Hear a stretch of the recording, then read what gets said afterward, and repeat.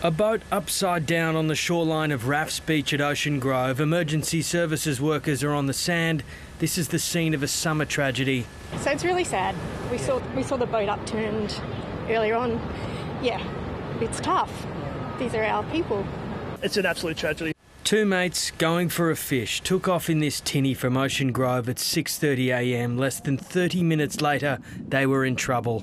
They've headed out through the river mouth um, at Barwon Heads and come across some uh, large waves. Unfortunately, the boat has capsized as a result. Both men were in the water. A 61 year old Moriac man managed to get on top of the boat.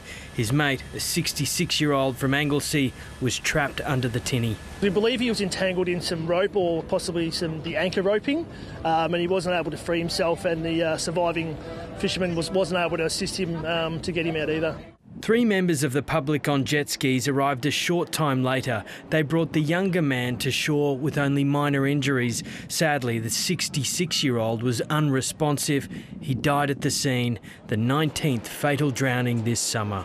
Ocean Grove is a, a very safe, family friendly beach, and for this to happen here, it's, it's a tragedy all round. Today, surf lifesavers were patrolling the river mouth at Barwon Heads. Conditions early this morning were choppy and the swell was larger than normal. Because the water pools with the tides, it can get hard to negotiate at times. It's a good tuna area that they have out here, so there was a lot of boats that were going out through the heads, but a lot of boats didn't want to go out because of the size of the waves.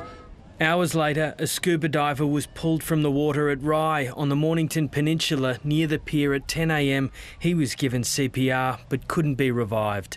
As thousands are enjoying the warmer weather at Victoria's beaches and popular holiday spots, authorities are again at pains to emphasise you can never be too safe around the water.